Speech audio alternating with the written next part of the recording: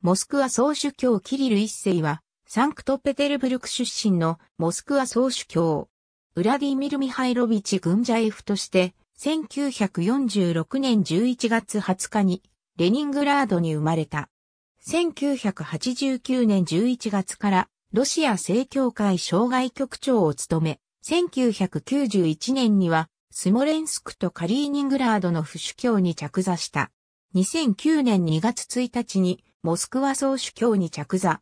2000年5月に自治教会である日本正教会の主座主教着座式のため、モスクワ総主教アレクシー2世に随行して来日。2008年9月中旬には、ロシア正教会中日ポドボリエの新聖堂、聖清のために来日した。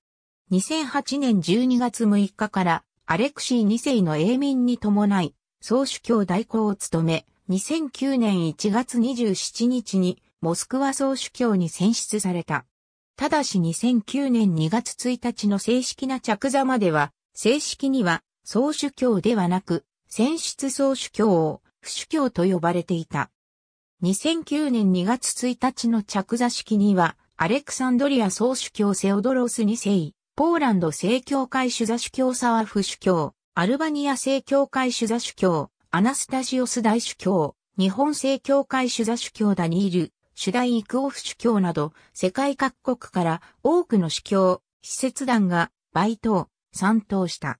2012年9月14日から18日にかけて、初代日本大主教聖ニコライの没後100周年を記念して来日した。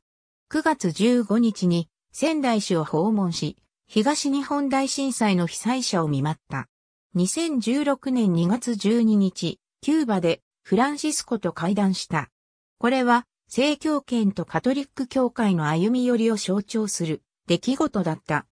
同年5月28日には、プーチン大統領と共にギリシャのアトス山を訪れ、ロシア人修道士、入山戦周年を祝賀した。2012年までに上記の3回も含め8回の来日経験がある。1969年に初来日したが、その際に和食に出会って、以来の王の和食好きであり、世界に数ある料理の中でも私は未だに和食が圧倒的に好きだと述べている。ありがとうございます。